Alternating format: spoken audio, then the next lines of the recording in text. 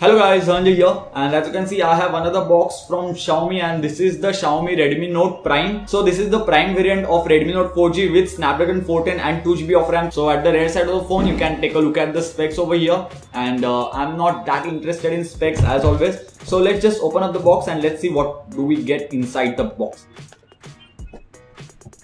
So as you can see this is the box and uh, the box is the same that we had on Redmi 1S MI3 and I still have the box. Just let me just get that box for you. And this is the box of MI3 that I use on daily basis and I'm using this for last one year and it is still surviving. I use this in my college bag uh, because I travel in local trains and the rush is like too much and I cannot keep the phone in my pocket. So this is the box and this is the same box that we have over here nothing new so uh, surely Xiaomi did not work on the packaging on this box so let's just keep that aside. So this is the phone. The device is oh my god exactly similar to Redmi Note 4G or Redmi Note 3G if you want to say that. 13 megapixel rear camera.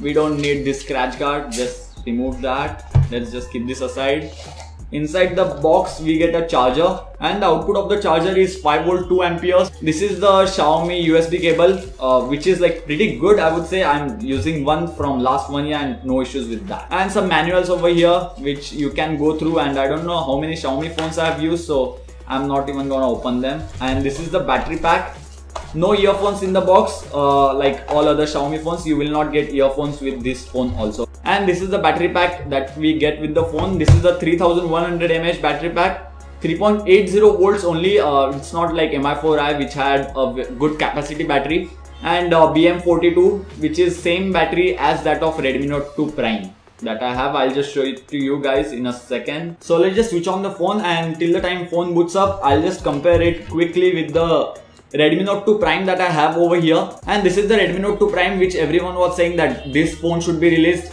instead of this. And I have to say that the Xiaomi Redmi Note 2 Prime variant that I have is like very very good and I'm completely impressed with it.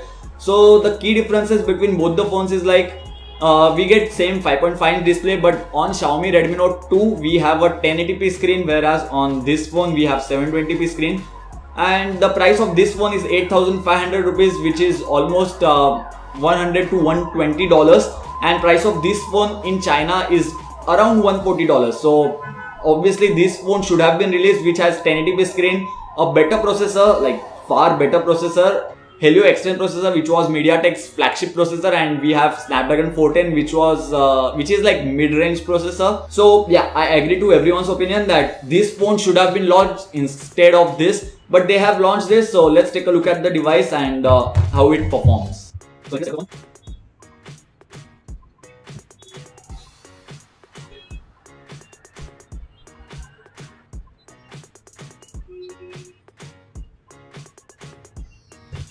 so now we have set up everything and everything is ready. So let's just go into about phone and let's check the android version because it is still 4.4.4 and i do not know why xiaomi launched this phone with kitkat. And i'm pretty much sure that uh, they launched it with KitKat because Redmi 2 Prime which has the same processor and 2GB of RAM also has Snapdragon 410 so you can just port that ROM to this phone because they have similar processor. It's easier as compared to building a new ROM on 5.1.1 and uh, let me tell you that this Xiaomi Redmi Note 2 Prime that I have comes with MIUI which is based on 5.1.1 so that is the advantage that we get with the Redmi Note 2 Prime. And with Redmi Note Prime which is launched in India we still have KitKat. But I surely do not think that it is worth launching a phone with KitKat in 2015 or almost